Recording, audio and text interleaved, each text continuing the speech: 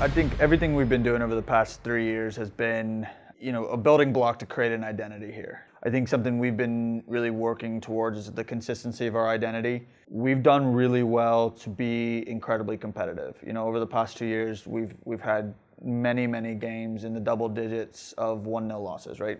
Our thing now is about how do we change those into favorable results for us. So for us, it's small consistency things. You know, I think in many games last year, we were really competitive statistically in terms of our possession and what we want to do, sort of our key performance indicators that, that we look at. You know, we either were right where we wanted to be or led against our opponent in a lot of those statistical categories. We scored more goals than we have since I've been here. So I think it's just taking that momentum of, you know, inching along as we create this identity at, to now, okay, it's in place. We're inputting our philosophy, our playing style, those things on our opponent, and that's creating results.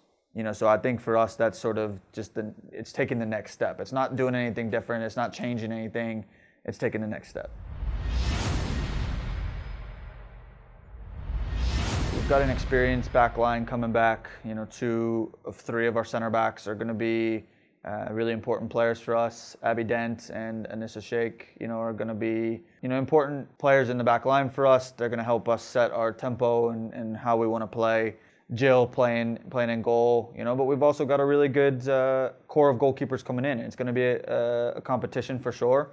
Riley obviously scored, you know, I think eight goals and five assists or, or something like that. And so, you know, coming back and, and I think we're going to have some some pieces around her now that you know, we're going to be able to spread the wealth in terms of who's scoring goals for us, both in some some younger players that got experience last year, but also some of the players players coming in. I think Lauren Fife and, and Morgan Anderson centrally are going to do a really good job to help us move the ball around, and you know, a lot of other players.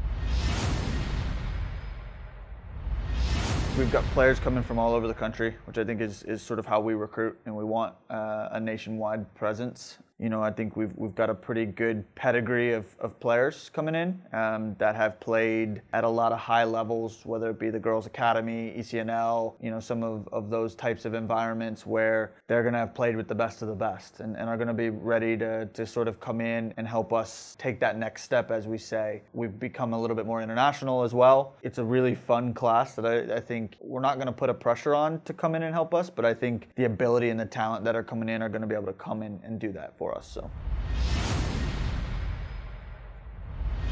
I think we have a fun schedule. Part of it, we're going on some cool uh, trips. We're going to be in New York City for two games, which I think our players are looking forward to uh, against Iona and Long Island. You know, hopefully a time to spend a little bit of time in the city, get a great experience, and then hopefully get get a couple wins while we're up there. You know, obviously the Citadel is always always a big game for us. You know, and I think we we end the regular season with that game. So obviously, could be a day with with a lot on the line and, and add to a a really fun rivalry. You know, Ohio's back on the schedule, FBS MAC school. So I think we've, we've got some fun experiences, but also a schedule which I think will provide some good challenges, but uh, also provide some, some really cool opportunities to, to hopefully, you know, take the next step as I talked about.